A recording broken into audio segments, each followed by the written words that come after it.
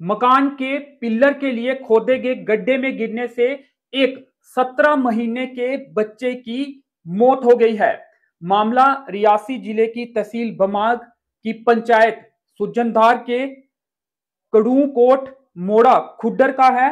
यहाँ पर एक बच्चा जो है, वो मकान के लिए खोदे गए पिल्लर में गिर गया, पिल्लर के जो गड्ढा किया था पिल्लर के लिए, उसमें गिर गया, घर वालों को पता नहीं चला और पिल्लर में पानी था क्योंकि आज सुबह इस इलाके में तेज बारिश हुई थी और बारिश के चलते पिल्लर के लिए खोदे गए गड्ढे के बीच में पानी जमा हो गया था और सत्रह महीने का बच्चा जिसका नाम निखिल ठाकुर था, पुत्र कुलदीप सिंह, वो उस गड्ढे में गिर गया और घर वालों को जब पता चला तब तक बेहद देर हो चुकी थी, यानी कि निखिल ठाकुर जो कि सत्रह महीने का एक बच्चा था, उसकी मौत हो गई थी। तहसील भमाल की पंचायत सुजनतार के कड़ू कोट के मोड़ा खुडर का ये मामला है और कोठरू एक विलेज है, उसके भी ये साथ लगता इलाका है।